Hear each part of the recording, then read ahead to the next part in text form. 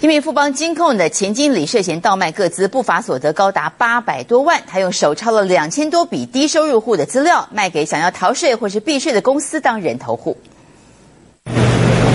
长相斯文的陈姓男子，因为先前犯下诈欺罪被通缉，如今人被逮到。不过警方又发现，这名中年男子居然利用先前在人寿及金控公司上班之便，倒卖客户个资，一年多来不法获利高达八百万元。他没有给我钱啊，那你为什么要给他？因为朋友认识啊。人被抓了，还是满口谎言。陈姓男子九十到九十一年间，在人寿及金控公司担任理财经理，他利用职务之便倒卖个资。